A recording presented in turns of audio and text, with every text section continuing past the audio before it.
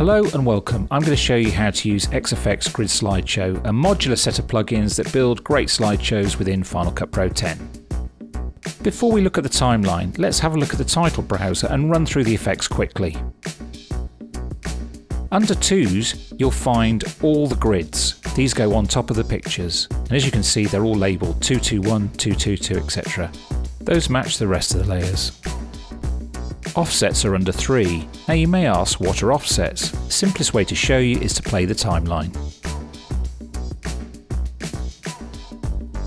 You can see the girl in this hat here has got um, the picture split up into ninths, but in the ninths the picture's actually offset. It would be a bit dull just to have a straight image behind the grid, so by using the offsets you can offset each tile to make it look a bit more interesting. Then in 4 we have masks. And you might say, what are masks for? Because this is a slideshow. Well, if we look at something complicated like this, you can see the masks have been used to use the top three images in this 16th composition, and then the bottom one with the VW is the opposite. The transition overlays go on top, and there's different ones for coming in and out of the transition. Easiest thing is if I show you,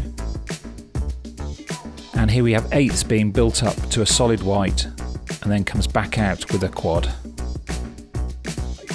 And lastly we just have the two texts from the actual demo.